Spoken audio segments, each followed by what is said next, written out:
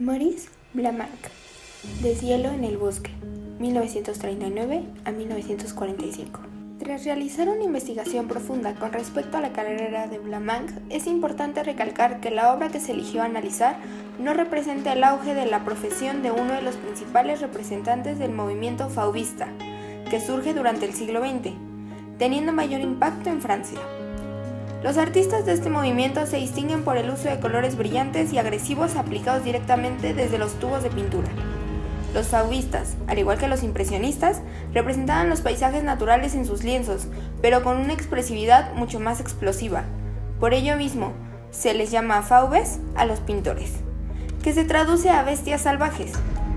Blamant, que en un principio fue considerado un innovador artista, con el paso del tiempo comenzó a perder parte de esa influencia que de hecho se puede observar en la obra. Ya que, a pesar de que podamos notar un rastro sutil del uso agresivo de colores como el azul y el naranja en su pintura, no es comparable con lo que hacía en sus inicios, así como la crítica social de su obra en un principio.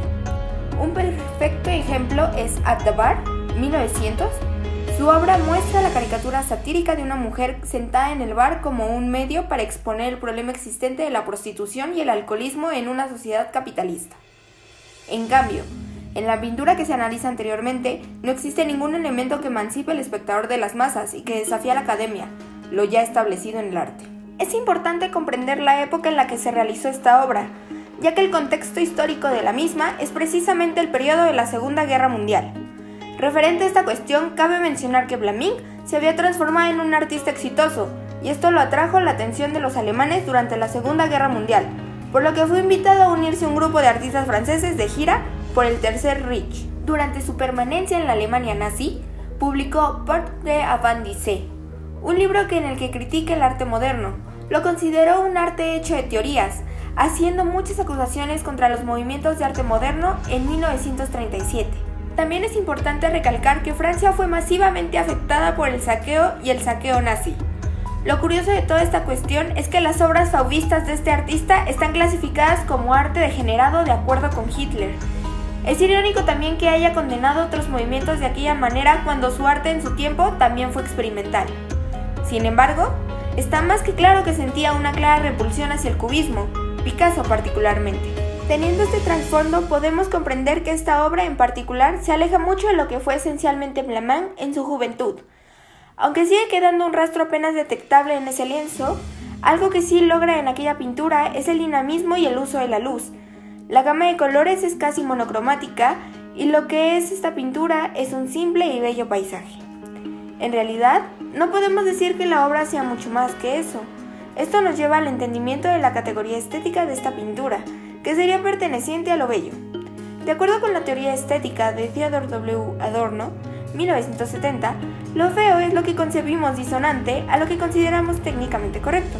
Un buen ejemplo es la deformación de la anatomía humana en algunas obras de arte, y a esto mismo lo que el régimen nazi consideraba como arte degenerado, ya que existe esta idea de que aquello que se sale de la técnica que lleva la perfección y la belleza, como lo sería la construcción de un cuerpo humano, se considera grotesco.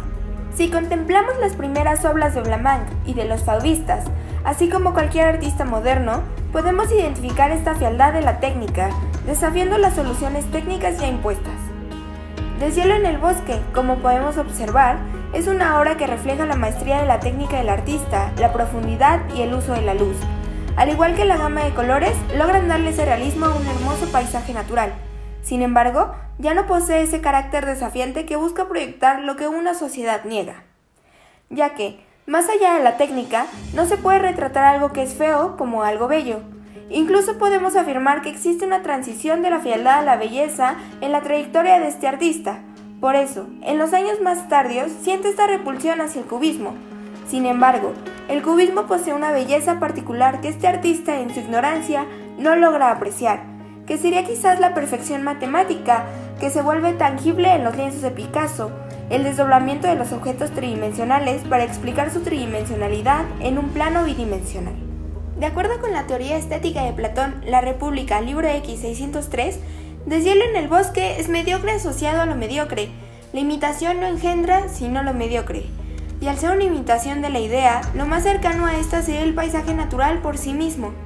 Sin embargo, los hombres consideran bello aquello que encuentran agradable a sus sentidos, el placer, lo bueno. También podríamos decir que para Kant, el paisaje natural en el que está basada esta pieza no es solo lo más cercano a la idea, sino el epítome de la belleza, ya que la naturaleza es lo único que podemos percibir como verdaderamente bello sin la intervención del deseo, así como lo percibe el ser trascendental. Aún así, podemos concluir tras analizar la obra que al existir una armonía en la composición y ser agradable a la vista, podemos considerarla una obra de arte bella.